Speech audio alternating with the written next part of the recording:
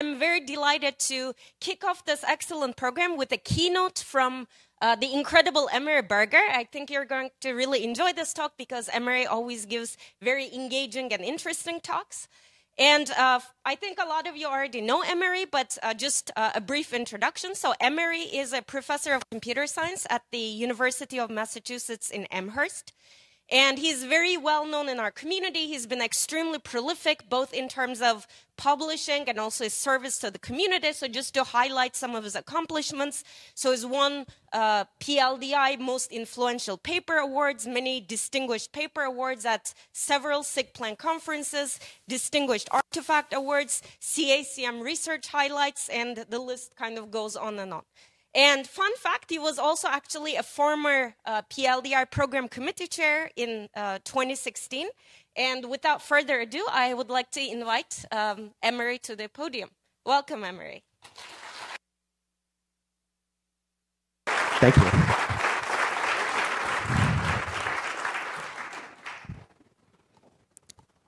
All right. Hi, everybody. Good morning. Um, I'm happy to see you all. Um, I just want to say, after two years, uh, maybe this is the thing that leads me to finally catch COVID, and uh, it'll be worth it. It's worth it. Famous last words, I guess. Okay, so um, by the way, the, uh, that first sentence, I memorized it uh, per Kathryn McKinley. Uh, good morning, everyone. By the way, that was the uh, the opening sentence. All right. So so some of you may know this dog. I hope there's some Simpsons fans in the audience. Um, if not, it's going to be a long talk. Um, so this is Santa's little helper. Uh, the Simpsons adopted Santa's Little Helper. Uh, he's been a core part of their family now for the past 30 years. Uh, it's a successful adoption. Now, I trust that many of you too want to get your research adopted, right? Um, but you can't just publish a paper and count on your work getting adopted, uh, right? Because it's so cute and adorable. Um, you know, people from the outside world aren't necessarily just going to show up, read your paper, and say, "Oh, this is such a great thing." It happens. It, it happens. But um, often you have to do more to get your research adopted. So, um, in this talk, I'll be talking about some lessons I learned along the way um, about how to get research adopted. These are lessons that I think all of you can apply. Um, and of course, following these lessons is not going to guarantee uh, adoption, but I think it helps. Um, so, step one, obviously, is shave your head. So, um, I, all right. I, I, think you may be able to do this without shaving your head. Mike and I have an agreement that this is clearly required. But um, you do have to get off the couch. All right. And so, in the spirit of The Simpsons, uh, this talk is based on the motto, uh, the famous motto inspired by the great Jebediah Springfield, founder of Springfield, who, um, who said, A noble spirit embiggens the smallest man. Now, some of you may be unfamiliar with this word. It is, of course, an actual word uh, in the dictionary. Um, and it means to make bigger or more expansive. And so the goal of this talk is to help you embiggen your research. Um, and it's actually organized around the acronym. So I'm going to go through all the letters of embiggens uh, first and talk about how you can embiggen your research. All right, so step one embed yourself. So, what do I mean by embedding yourself? I mean things like internships, uh, spending a summer month if you're a faculty member, uh, spending a full sabbatical. Um, if you if you go out into the world uh, and you go into, say, a company or a place like Microsoft Research, where I've spent a lot of time, um, this is a great way to get your research adopted because you're there and you may be able to actually help productize your thing by your physical presence, right? And you're connected up with all the people. Um, doing these things is intensely gratifying on a personal level. I strongly recommend everybody out there to, if you're a grad student, try to do an internship at one of these places. Um, and if you're a faculty member, really consider spending some time in one of these places. It's really worth it. Okay, G, so M, not G, unfortunately. Go to the mountain. So you know the well known expression uh, if the mountain won't come to Homer, then Homer has to go to the mountain. Um, so by the mountain here, I mean real users. So this is to say potential adopters of your research. So we're all here at PLDI, and PLDI is great. It's really great, but it's not necessarily where your real users are or the people who are going to adopt your research. Um, by contrast, there's tons of conferences out there, these industry conferences that have all sorts of uh, you know things about Rust and uh, Python and JavaScript and you know you name a language or a technology. There's an industry conference for it. Um, and you know, there's languages and platforms and systems. So this is where practitioners go. right? So there's not that many practitioners in this room, but in those rooms, there's like no academics. It's all practitioners. Um, but they're looking for solutions to their problems. They're really interested in what we do. Um, so giving a talk at one of these conferences is a great way to meet potential users and learn from their problems and their concerns. And this can really help inform your research and drive adoption. Um, the first industry talk I gave, uh, this was actually due to Kathryn's suggestion, was at Strange Loop. Um, and it was a great experience. So the audience was insanely engaged. They laughed at all the right jokes. It was great. Um, and uh, the, the crowd was just super, super interested. They posted on YouTube, and uh, also the production team, insane. Uh, it looks great. They made me look really good. Um, and it's gotten 300,000 views, which is crazy. But here's the really interesting part. So the t- top four out of the top six most popular talks at Strange Loop of all time are by PL people. Right? So these are people, like there's all these people at Strange Loop who might want to adopt your work and they want to see PL people. So it's really easy to apply to give a talk. Uh, they pay your way if they accept. Can you imagine? Right? Like, like you go to give a talk at a conference and they pay for your travel. They actually arrange your travel. It's ridiculous. It's a whole different world, that's for sure. Anyway, I highly recommend it. Okay, building real systems. So, what do I mean by this? So, um, so here is a picture of a bunch of uh, researchers um, who have papers uh, and their systems. And uh, they're, of course, they're eager to get their papers accepted. Um, and so naturally, they run them on some benchmarks. And, uh, you know, these people are the program committee, right? And the program committee wants those, the, you know, there's some set of benchmarks we expect you to have, right? So, you know, we push these, uh, these systems eventually, you know, uh, to just make it to the paper deadline, get the results we need, and then hopefully the program committee is, uh, is happy. Um, of course, there's always, you know, reviewer number two. Um, all right, so it's it's no guarantee that your paper is going to get in, but it really what I'm trying to urge you to do is to stop playing with toys. All right, if you want your research adopted, the research can't just kind of barely stumble across the finish line, and the first person who picks it up and tries to use it discovers it doesn't work. And you know, our field, unfortunately, and I'm as guilty of this as anyone out there, um, you know, spends a lot of time focusing on these toys. And I just want to draw your attention to one, which is really great. So this is the Spec Benchmark Suite. So this is like the gold standard for CPU performance for like native code and for architecture and all these things. So the Perl bench uh, benchmark is a um, it's an old version of Perl, like it's Perl, but also an outdated version um, that's been cut down, whatever that means. All right, great.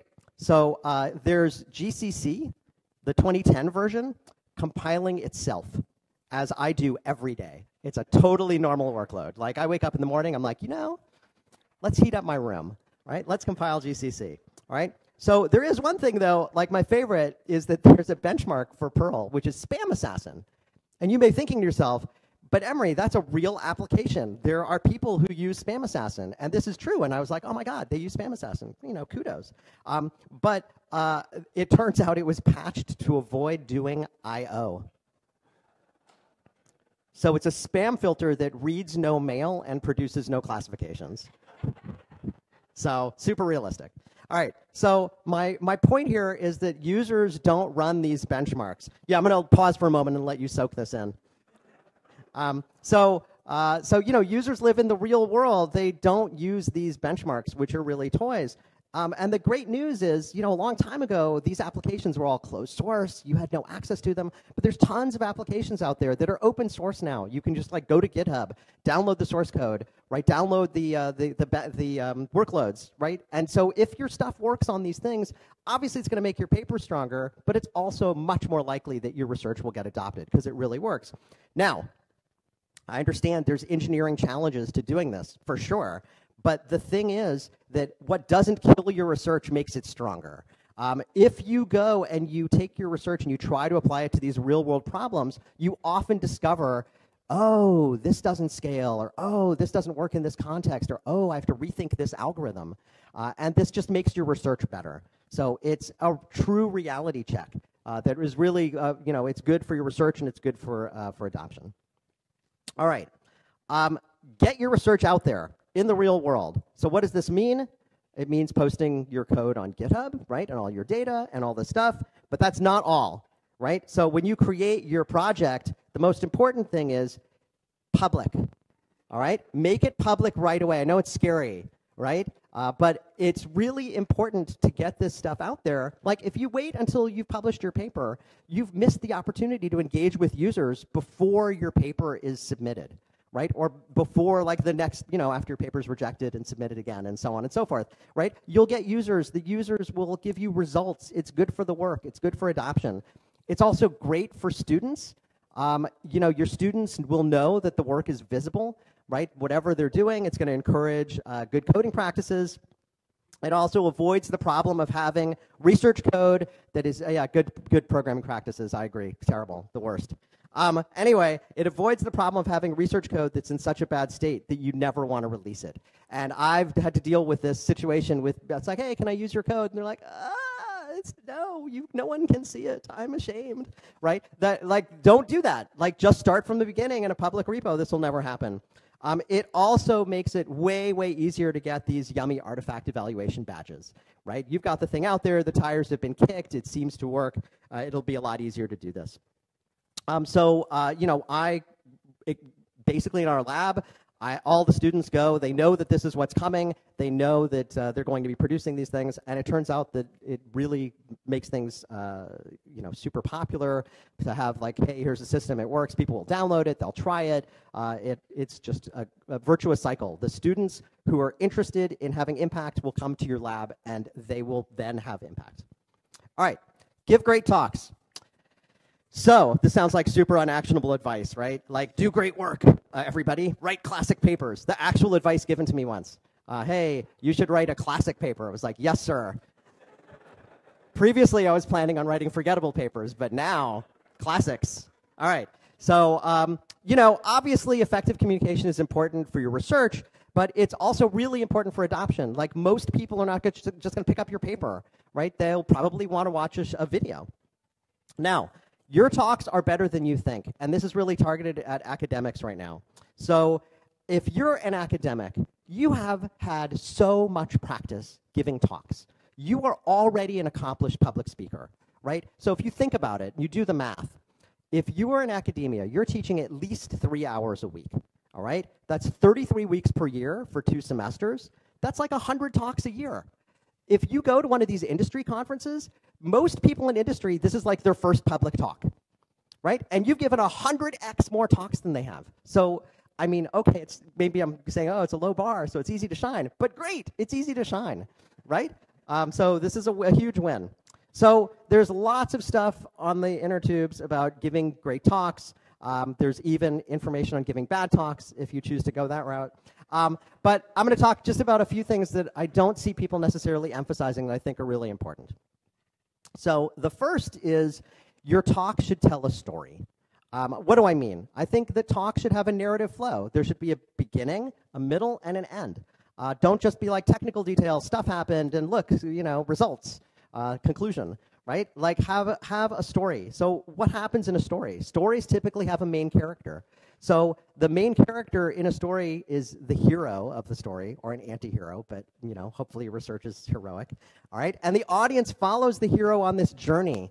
Right, so who is the main character going to be? It could be a user of your software, right? It could be you. It could be an anthropomorphized version of your research contribution, but something. And you know, we are kind of evolved to really uh, be attracted to stories and remember stories. And this will just make your talk way easier to follow and more memorable. So, of course, show, don't tell. Use lots of visual visuals. Don't don't be scared. It's okay.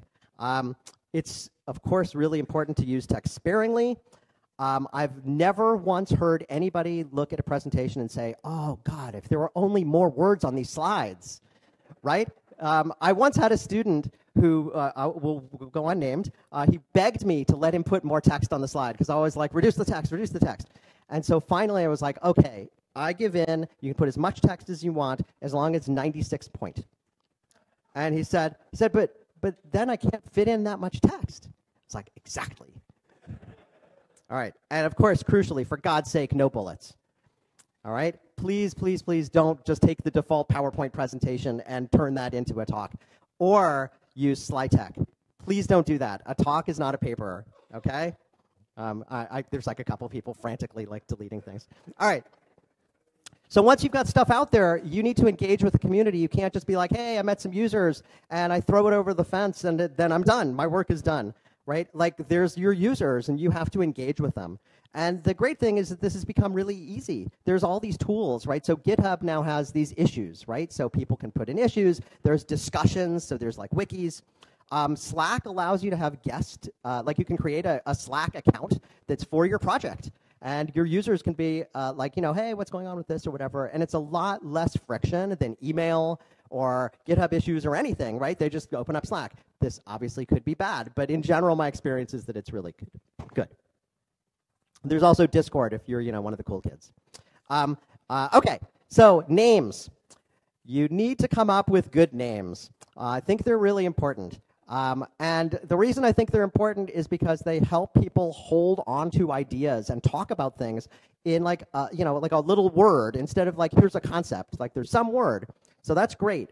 So not acronyms.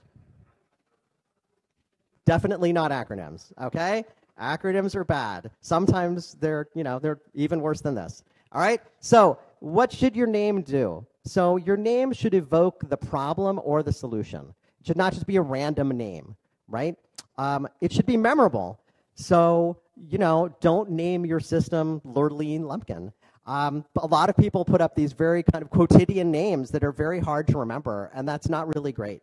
So it's crucial that it be Googleable. Dictionary words are usually not ideal, right? If you do, you do a Google search for your name, right? Like, don't don't. Uh, that's actually like uh, anyway. I'm not going to cut like, go to that story, but yeah, make sure to do a Google search for the the, the name. Uh, I've seen names where it's like, oh Lord, you do not know want to know what that means in Spanish.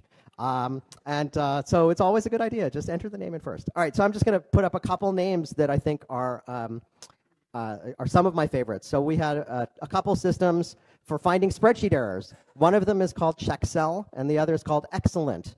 Um, get it? Um, okay. So, but uh, you know, all right, it's a little corny, but I think that it works.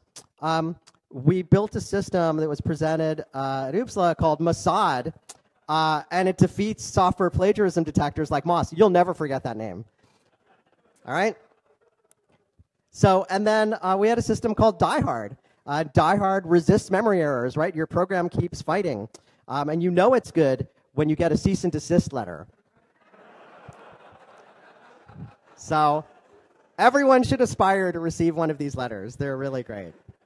The well known trademark, Die Hard, from Sears, because everybody would confuse my software with a battery. Like, I went to go buy a car battery and all I got was this software. I'm so confused. All right. So finally, scratch and itch. And what do I mean by this? Like, not this kind of itch, right? I mean, real problems that you have, that you encounter in your research, are likely to be problems for others. So when you're, you know, working on research and you run into some challenges, right, or things that just come up, like, oh, my C and C++ program keeps crashing, right? This led to the creation of the system that we call DieHard. And DieHard eventually influenced Windows 7 and 8. Um, so, you know, it, it was a, piece of work that had, like, it turns out I wasn't the only one who had a crashing C or C++ program. There are other people in the world whose programs crashed, right?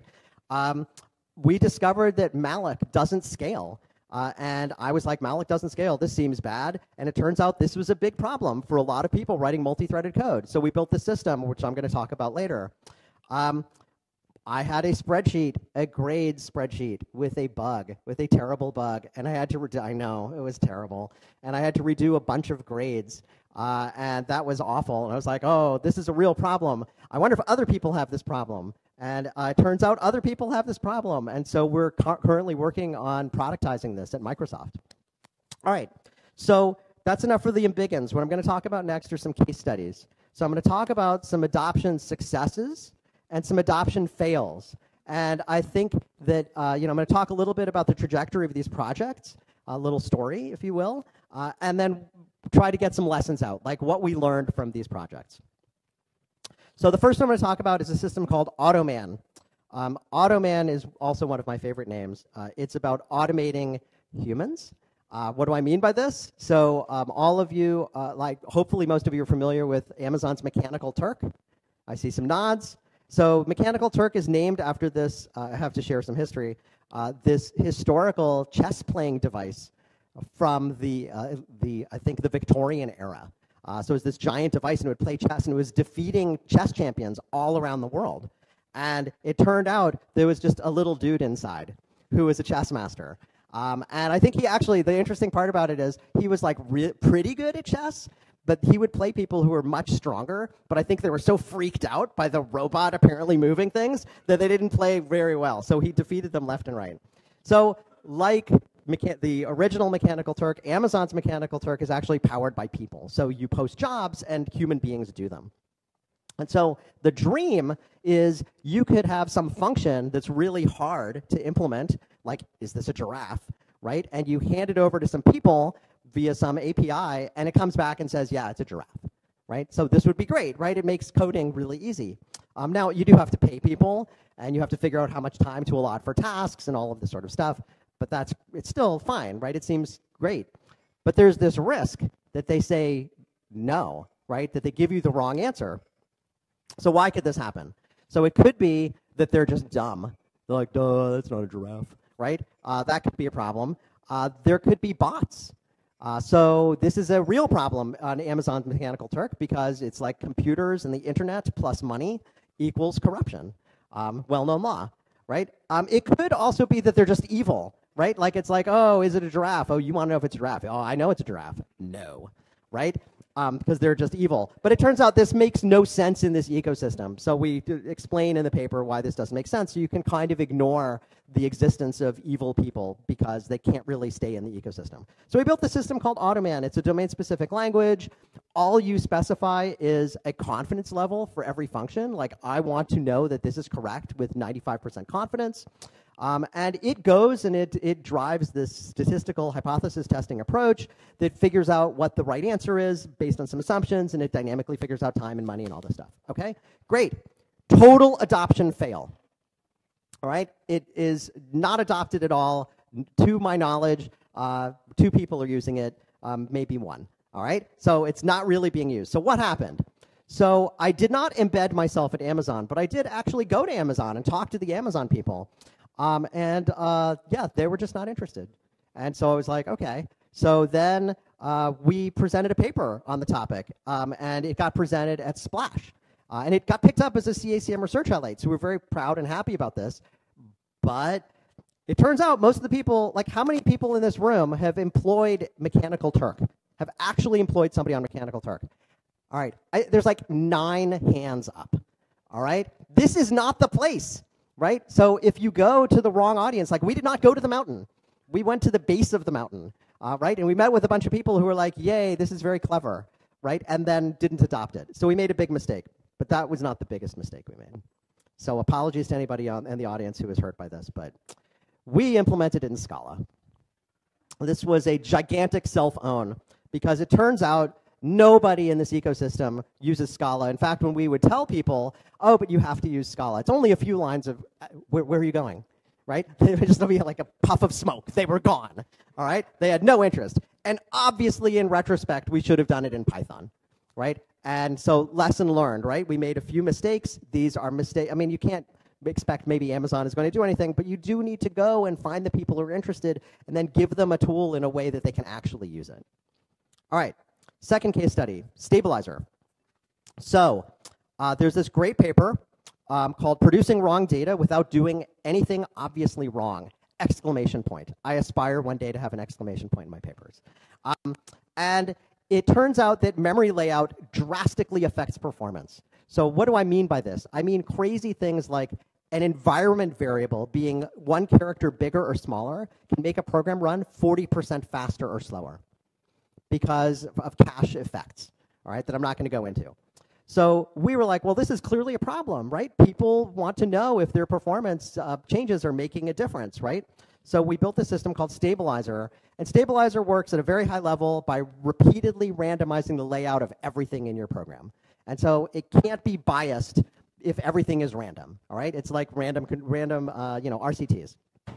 So This means that if you get these results out, you can take them to the bank. The effects are not due to memory layout. And so what we showed is that it also enables a kind of statistical hypothesis testing, and we jokingly refer to the way that most people look at this as eyeball statistics. We're like, yeah, this looks better, but that's not statistics, right? So, you know, you want to be able to actually have some statistically sound thing, and so you know the effects are not due to memory layout, and we found when we ran some experiments that dash 02 versus, versus dash 03 in LLVM at the time was indistinguishable from noise, which is a surprising result, right? I thought. Okay? Total adoption fail. So um, it turns out that uh, we had a solution to a problem that people did not want solved. All right? What is that problem? Well, sometimes people's results looked like this, right? Like very, very narrow performance improvements, and stabilizer would be like, yup, not significant. Oops, turns out that there's not many people who are like, hey, I would like a tool that makes, makes it really unlikely that my paper is going to get in. All right? Like, hey, I did a lot of work and it's insignificant. Please accept my paper. All right? So there was a recent blog post uh, that was really insightful and uh, it analyzed why uh, stabilizer hasn't been adopted. This guy was like, "Stabilizer's awesome," and I was like, "Yeah, you're the bomb." And he's like, "Hey, why didn't it get adopted?" And I was like, "Oh, you're right." Right? From a results point of view, developing a stabilizer tool seems likely to come up with a bunch of negative results, demonstrating that people's performance improvements were actually not statistically significant. And somehow this did not occur to us, right? That people would be unlikely to adopt this. So clearly an adoption fail. However, at the end of the blog post, this guy showed something that I didn't even know that there's a project for doing uh, WebAssembly. Um, uh, WebAssembly JIT benchmarking uh, that is apparently going to adopt some of the approaches we had basically for checking for performance regressions. Um, and so it's like, hmm, is an adoption fail? It's still mostly a fail. All right, so now I'm going to talk about a success. Um, so this was my PhD work. So um, this is the Hoard memory allocator. Uh, the name is actually a play on how the allocator works. Uh, and it all started because I started my PhD working with a, my first advisor on a C++ library for parallelism. Um, and it was very cool in theory. Uh, in theory, it was provably scalable. You would write your program using this library, and it was guaranteed to scale, except when it didn't. All right?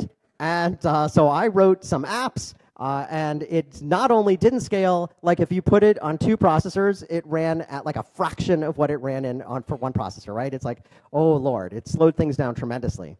So as a junior PhD student, I was like, oh Lord, what is happening? Right? Like this is provably scalable, and yet it is not scaling. How, like I'll go back to the professor and say, hey, your proof might be wrong, right? Um, and so I was convinced I was doing something wrong in my code. Um, and I couldn't find anything. And so then I looked in the library and I couldn't find anything. And then eventually I found something. And I found this not so smart malloc. Um, so it turns out that the allocator that Hood was using was really bad. And I was like, okay, I'll just replace this with some off the shelf, actually good allocator and move on and continue to do parallelism work, right? So let me give you a, a, a glimpse of the, the problem here. I went and looked for a good allocator, and it turned out there was not one. All right, so they all suffered from these problems. So the default allocator on the system I was using had one big lock, not exactly scalable. Uh, so there were these nominally scalable allocators, but they had other problems. So this is, of course, a problem of false sharing. Um, and so what would happen is the allocators would actually carve out pieces of the same cache line and hand them to different threads. And so the threads would just be working on nominally independent things, but actually they were sharing the cache line, and this would drastically de degrade performance. All right. It also gave rise to this phenomenon uh, that we call blow up. So these past multi-threaded allocators would basically leak memory, which is like the thing that memory allocators are definitely not supposed to do. Otherwise, why would you have a memory allocator, right? It's supposed to manage your memory, not leak it. And so what would happen is you could have one thread allocating, and then it would give the memory to another thread that would free it, and that memory would just accumulate on their own local heap and until literally the system would run out of memory. So we had a program where you'd link it with one of these things, and it would run for five seconds and then crash, um, just because you're using a, a, scalable allocator. All right, so I'm going to show you Hoard on one slide. We called it Hoard because it always grabs big chunks of memory that we called superblocks. Um, it makes these superblocks, it, it keeps them in pools that are exclusive to each CPU. Turns out that this avoids locking and false sharing. Um, as you've allocated these things, you know, eventually you free them, and to prevent this situation of blow up, uh, basically the empty space allows, like once it crosses some threshold, the memory is moved to a global heap where it's available for everybody else, uh, and we could show that this provably avoided locking and blow up, and this took us from here to here.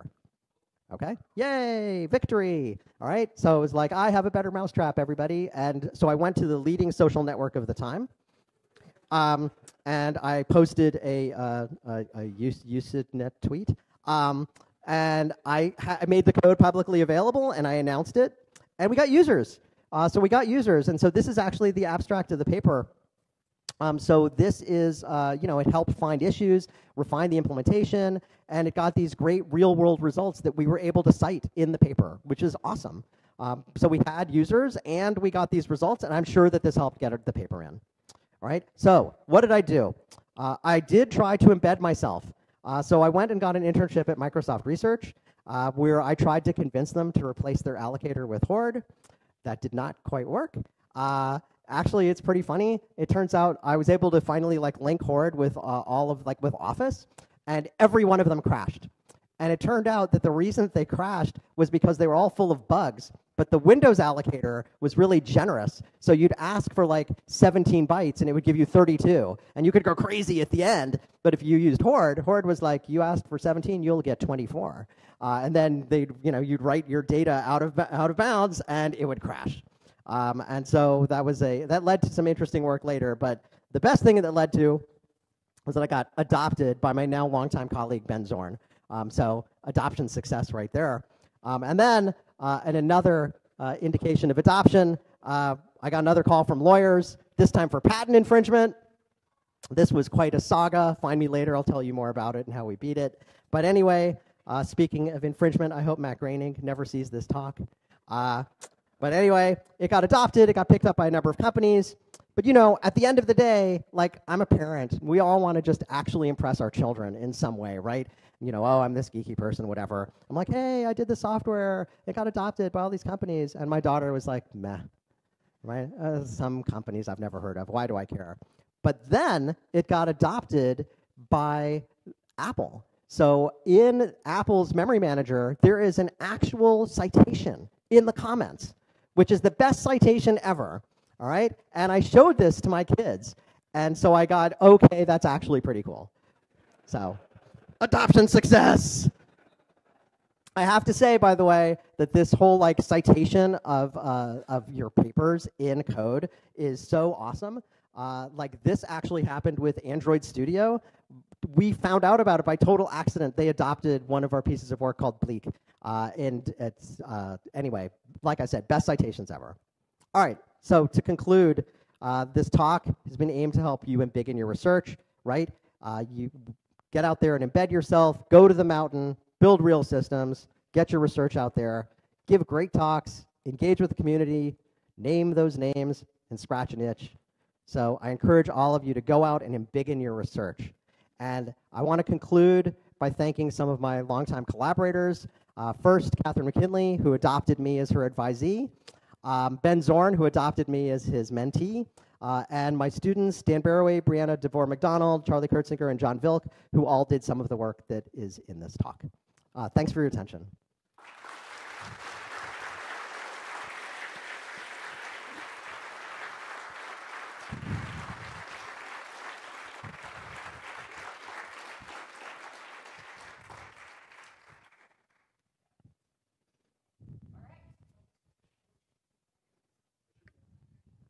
Can people hear me?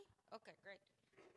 Um, so we have actually quite a bit of time for questions. So um, just raise your hand and I'll bring the mic over to you.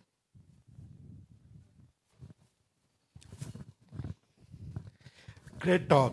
So one thing you didn't mention, looks like a lot of systems get adapted by kind of sacrificing the graduate student with the project to a company.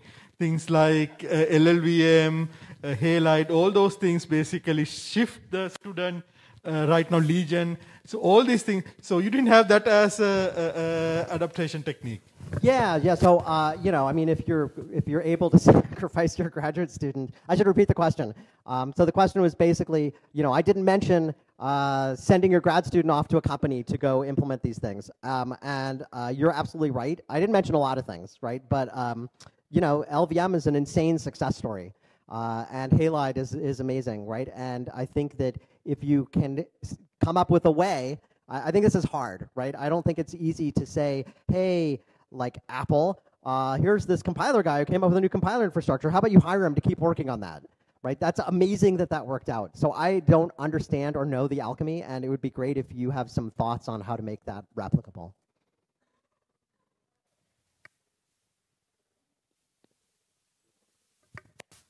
Hello? Okay. Thanks for a really, really cool talk. So uh, I wanted to see what your thoughts are about uh, research adoption within the academic community, whether it matters, how it relates to the kind of adoption you talked about, and uh, how one can make that happen. Yeah, that's a great question. So I've focused on, on companies and the real world, quote unquote, um, as opposed to academia. But um, you know, if you can get your infrastructure adopted within the academic community, that's still adoption, right? It's still a kind of impact. Um, we tried to do this. Uh, so we had a framework that we developed for building memory allocators, um, and that has not really been picked up. But uh, you know, Steve Blackburn and Kathryn and a, an army of other people put together this uh, this MMTK memory management toolkit that got adopted by a bunch of researchers, um, and it's a ton of work. Um, I, I, mean, I think there was a lot of evangelism and a lot of, uh, you know, a lot of engineering and a lot of effort pushing those things. Um, but the good part is, is that it was, in a way, like it, whatever they did to make MMTK better, also helped themselves, right? So there is a virtuous cycle there at play. So I think that if you're in a situation like I worked on my infrastructure and tried to get it out there, and uh, people weren't that interested in using it, there was some other kind of infrastructure that came along that's clunky and whatever, but people were using that, fine. But I kept refining it, and it was good for, for us and for my students. So we've used it. So I think that if you are already working on building some infrastructure and you find it to be reusable or of value to yourself, then you can keep building it, and even if it doesn't get adopted, it's still a win.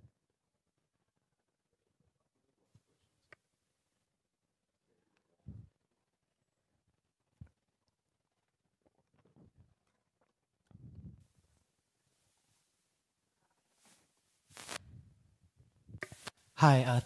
Uh, Obviously, a lot of work to create tools that are robust. Um, and so I was wondering if you thought it was equally worth it at every stage of your career, from solo PhD student to senior faculty with an army beneath you, or if maybe it was more appropriate at some stages than others. Yeah, great question. So the, I mean, I don't know how much is being picked up, but the question is basically like it's a lot of work to do this. Uh, you know, there are trade-offs. You know, when do you do it? Different stages of your career. Have you always done it, and so on. Um, so I've always done it. Um, so I don't know anything different. Um, and uh, I just am personally gratified by these things and having users is, you know, having a paper accepted is great, right? We all love that. Um, who among us does not, right? It's like, oh, darn, another paper accepted, right? It's great. But um, I, I value having users more, but I think that it's also important to understand, like some of my most adopted pieces of work are also my most cited, right? So I don't really think the two are in opposition, right? So it's like, well, if you build a system and people use it, guess what? They're going to cite you. So I think that it's, uh, you know, there's, there's no reason to say that the two have to be divorced. Um, with respect to graduate students, I've never had an army of graduate students. Uh, the most I've ever had at one time is, I think, six. And my steady state is more like four to five. So it's a pretty small army. Um, just they're devoted and great. Um, and I think that uh, you know, if I think that it's honestly motivating for a lot of students, right? Like the students also derive a lot of pleasure from like, oh, people are actually using this, and you can go talk about it, and it's great for getting a job, right? Like you go on the job market, the talks where it's like, this is being used by Amazon, right? That attracts a lot of attention. Hope that answers your question. Uh, hello. Uh, hi, Emery. Uh, right back here. Uh, awesome talk. So actually, I just wanted to report a bug on it. would be great to um, file an issue. uh, but but but more seriously, I mean, having been on both sides of this, right? Having been in industry now in academia, the thing with getting these tools adopted in the real world is that you know users want confidence that this is going to be maintained, that their bugs are going to get fixed. They don't want to depend on an academic tool, integrate it into their system, and then later on everything breaks and they can't get any support. So I think it's obvious that you've overcome this obstacle, and I wanted to hear more about how you did this, particularly given conflicting incentives to publish more papers and graduate your students and all this kind of thing? Yeah, good question. So, um, I mean, I agree that people don't necessarily want to take a dependence on something that runs the risk of somehow being abandonware. Um, you know, if you if you're lucky enough to build enough of a community around it, then this kind of doesn't happen. People are still banging on things and reporting things. Um, the graduate students I've had have generally been interested in continuing to maintain their work, like their name is on it, right? Um, so there's kind of an incentive to do this. It's not uh, maybe it's not their first priority, especially if they're in industry. But I think that uh, the ownership, like it's uh, really important, right, that the students own the work from the research perspective as well as the software perspective. Um, so I think that we don't have any projects that have been adopted and then withered away because the, the students have just stopped answering issues. All right, great talk. Um, so um, I'm on the other side of this adoption thing. Um, You're opposed to adoption? no, I'm actually doing adopting. So, Excellent. so like you know, Roblox, like we pick up like you know systems that are out there in the academic literature, and and we, but pretty much consistently we re-implement them. So what we're interested in is is reusing algorithms. We're not that interested in reusing code. So, which means that I'm, I'm, going to give you a bit of a pushback about one of your letters. So, so B, so the build real systems thing. That I mean, different companies are different, but for us, that's that's actually not the the thing we're interested. in. What we're interested in is the the reusable brain stuff. Um, so, I was wondering what your thoughts would be on that. Yeah, so I mean, do you always need to build real systems? I don't think you always need to do every one of these things. I think they help. Um, you know, if, if somebody, you know, there's obviously areas that are just purely algorithmic, right? Like if somebody is a theory person, they publish an algorithm, um, it's nice to have an implementation to validate they haven't missed anything, like that there's some big giant constant factor or something, right? Um, and so that's certainly positive with respect to the kind of stuff you all are doing, if you're adopting like type theory and things like this, I can see how you know the code would actually potentially be a burden. But on the other hand, maybe it was valuable that it was implemented once and people tried it out and experimented with the type system to give confidence that it was something that you were then going to adopt. I think it's unlikely and it's a, it's a possible path, but it's unlikely somebody just publishes an algorithm and then it's so obviously a good idea that you go and implement it. This does happen, right? But maybe not always. Thanks very much for the great talk. So first, how many times do you have to watch The Simpsons to make such a great presentation? and uh, second, can you share some secrets of how to make this almost text-free and uh, anime uh, meme-dominated presentation? so uh, Google image search is your friend and a healthy disrespect for um, copyright law. Um, fair use, everybody, fair use. Um, so yeah, I mean, I think that um, you know, uh, I, at some point I just decided, look, people prefer visuals. I prefer visuals. Let's try to make things visual. Um, and I just look for images that reinforce the point or can stand behind a point I want to make. Um, and sometimes you have to make them yourselves. Um, but um, there's a lot of images out there. And with DALL-E, uh, soon you'll just be able to say, write a, visual fantastic talk for me, and it'll produce images, right? Um, I actually, to be honest, I wouldn't. I would love to. So I don't have a DALL-E account. I would love to try making some of these things. I think actually it could be really uh, an effective tool. Can you hear me? Yeah. Okay, there we go. Uh, really great talk. Thank you for that. I want to come back to stabilizer. You nerd sniped me a little bit. Uh, and also what you said about going to the mountain and users. So I worked on V8 for a long time. And what we noticed is that software performance regresses little by little over time. Very small changes, very small uh, reduction in performance, 0.1%. And so adding noise to that makes it harder to detect those things. And I think that there's a use case that's really important for being able to do performance regression over time and adding noise to that may be difficult to notice those things. Do you have thoughts on that? Yeah, that's a good question. I mean, I think so. I mean, you know, certainly the the challenge that stabilizer addresses with performance regressions is that you made a change. So there's two possibilities, right? So on the one hand, you optimized your code, uh, and it got faster, but it turned out that you didn't optimize your code. You just allocated an object, and things got laid out in a nice way by happenstance, uh, and then that could be brittle. Uh, the other thing, of course, is that you degrade performance, and that degradation you might be tempted to roll back, but it again could be an accident. Now, if it's really, really small, it is the case that stabilizer, uh, it'll just require more runs to weed out what's happening right? So the noise that's there is not just noise in a kind of like, uh, there's random noise, and the sort of like, oh, it's totally random. No, it really is random. Um, and because it's random, it means you can factor it out. So you may have to run a bunch of runs, but you would get eventually the signal. I believe. Hi. Uh, one concern I have about uh, like embedding with companies and pushing for adoption of my work is that it'll, it will become like patented or owned in some way that I can't build on it anymore. So like, what is the reality of that concern, and how do you approach that? Yeah, good question. IP. So um, so let's see. So first, if you have released some open source code uh, while you're in academia, no company wants to, to, to adopt that stuff and say, oh, we're going to put a patent, do a patent around it or do this because it's contaminated, right? So um, if you've done something before you show up, this is insurance against that ever happening. Now, uh, if you do something while you're on the company dime, it does belong to them, right? Um, do they want to make a patent? Do they want to file a patent for it? Uh, you know, in a lot of cases, there's a lot of companies like Facebook, for example. Facebook is like, you can have everything. I'm, I'm, I'm speaking as a Facebook lawyer, um, right? Like you can, you, we don't care because Facebook doesn't care, right? They have the social network and all the evil and stuff. Um, and so, you know, the, the code is not the problem. Really? Nobody's on the same page about the evil? Okay. Um, so, but, uh, but yeah, I mean, your mileage may vary. It depends on the place. Um, it also depends on your institution. So UMass is really generous about IP. Uh, they're like, you created the IP.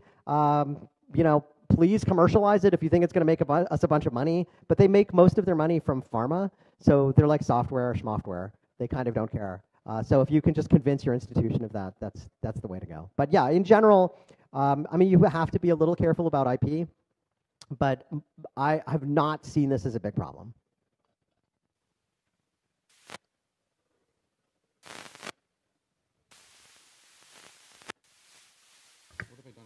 Hello, there we go. Um, so I'm from the industry side of the world. So I work on Apple, on the Swift programming language. And so we're looking for the great ideas to adopt. And so I wanted to emphasize your point about putting your work up on GitHub, put a README file that makes it easy to use, because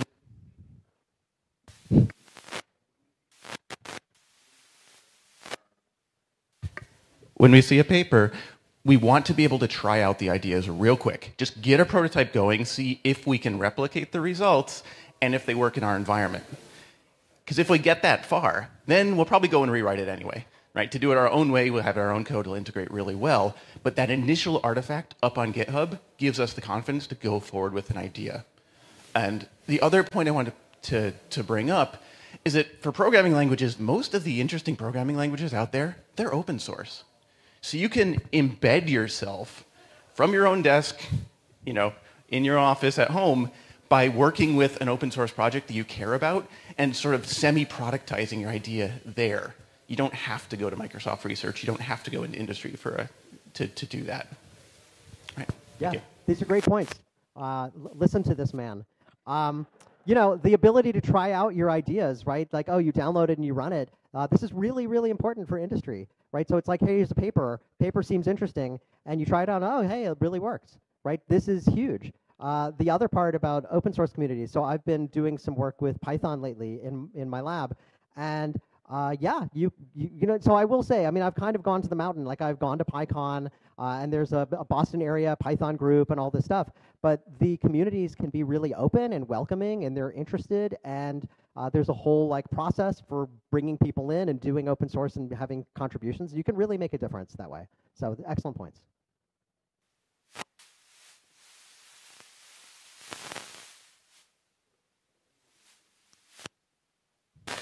There we go. Ah, perfect. Um, so you talked a bit about how the industry adoption that you've aimed for has helped your papers get accepted or cited more often, uh, which is useful because those are some of the direct measures by which academic success is measured. Um, but that means that the industry adoption, in some ways, is an indirect. Comment about how industry adoption is directly valued by things like tenure committees or grant review committees, um, that kind of thing. Yes. So, so the question got a little uh, broken up was basically, hey, you're getting papers accepted and citations, and that's how we normally judge uh, success. But what about industry adoption? Um, yeah, this. It turns out letter writers are aware of these things, um, and they matter, and it matters for for uh, you know. I mean, I it matters for awards. Um, it matters for uh, promotion cases and uh, for you know for tenure for full. Um, you know this this stuff all gets mentioned. Nobody, I mean, of course, I haven't seen my case, right? Um, but I know I've seen lots of cases, and when people have had this kind of impact, it's always like, look, this shows the value of the work. Uh, so it's absolutely the case that it is there. It's just not a numerical measure. It's you don't you know you don't there's no like H index for your systems, right? There's no S index, um, which is maybe a good thing.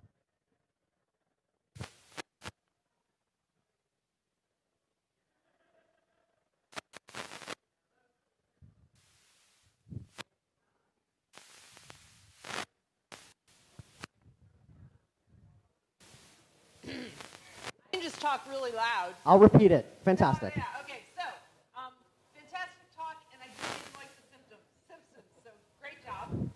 I just wanted to add to your comments about IP. Your software. So if your software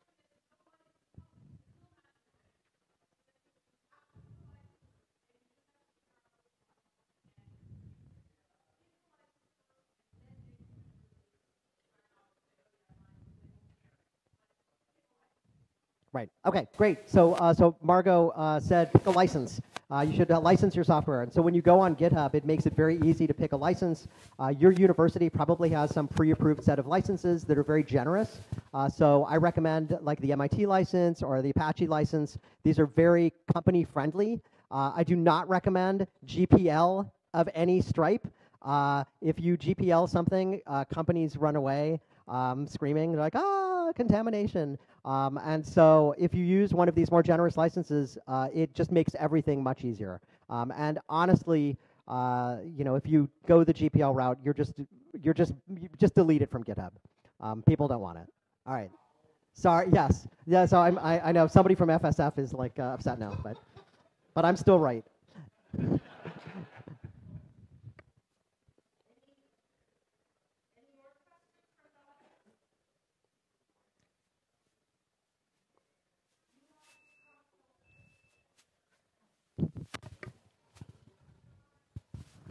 So uh, at PLMW yesterday, uh, John Regehr asked a really, I think, probing and provocative question about what we should work on hot topics or maybe deliberately work on not hot topics because we're a broad community, we do lots of different things. And I wonder if you had thoughts about the same thing with respect to targeting adoption. So a lot of people like you work on things that I think amazingly have a very short turnaround time for when they could get adopted by industry. What about people that want to work on things with longer time horizons? Yeah. So, um, I mean, I think that um, you know the, the, the sort of like short term versus long term thing. I've always been kind of skeptical of. Uh, I think it's very easy to say, well, this is going to have impact. Uh, you know, give me tenure and promote me, and then you know, after I'm dead, uh, you'll see, right? Um, it's like okay. Um, but I mean, clearly people should th- be thinking about these things. But I also want to say, you know, a lot of these things that get adopted, it's not like, oh, you just like there was like a, a, a hole and you filled the hole. Typically, it's like, well, you discover a whole new thing and that happens to solve a problem and has practical impact. So, I mean, I don't think of these things. It, it, so, I will say that I do advocate problem-oriented research. That's my research style. Um, I don't think that's the only style, but you know, if you do want your research to be adopted, if that's something you care about, uh, then not adopting problem oriented research means you'll be producing a lot of stuff that may eventually find application. Whereas if you have a concrete problem and you're like, look, I really think this affects a lot of people, then it's way more likely it'll get adopted. But this is really a personal choice. Um, I don't think that, you know, there's, there's a, a, one answer but it depends on your values and what, you know, honestly, every day you're going to be working for years, right? You're going to be working every day, and, you know, as a faculty member, literally every day. Um, but lots of days, right? And you want to be happy and excited when you go to work, even if you know you're just walking down the hall to your you know computer. Um, but you know you show up, you want to be uh, like every day should be like, yes, I'm going to do this. So whatever it is that it, that drives you, that's what you should follow. And for me, it was building real systems, getting stuff out there, solving real problems.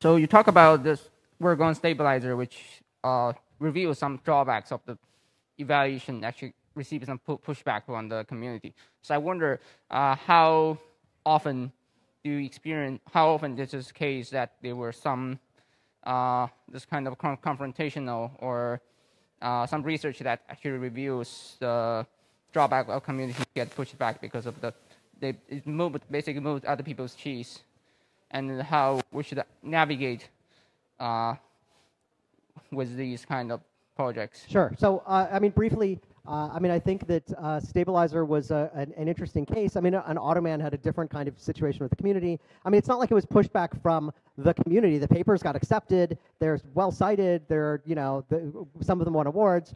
Um, it was just that we thought something would get adopted that we didn't think it through. It's like, of course, nobody wants this. Um, at least the use case we thought of and now people are repurposing it, and that'll be great, hopefully. Um, but uh, but yeah, you know, look, uh, sometimes things don't work out. That's okay. There's more things to do. And it did work out in a way, right? It worked out in the traditional measures. We had a good idea. It was really interesting, intellectually rich. We produced something, papers out there, um, and it didn't get adopted as a system yet. Fine. It's okay. Okay how do you deal with double blind reviews and very popular open source software that goes with that uh, project?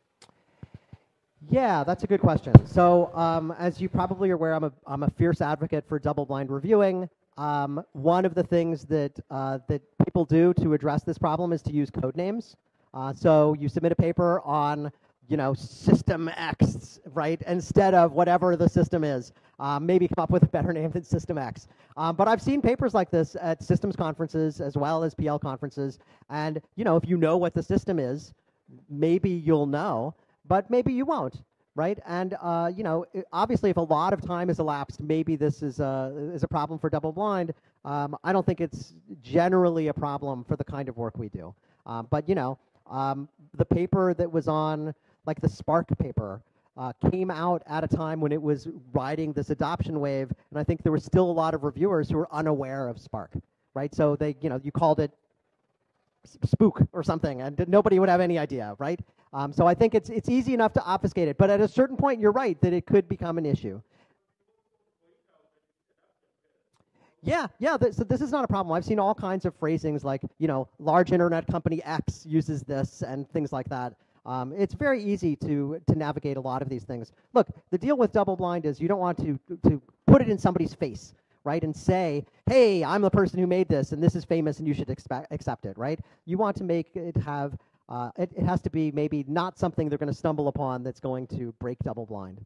Um, so uh, it's, you know, there's degrees is really the, uh, the short answer.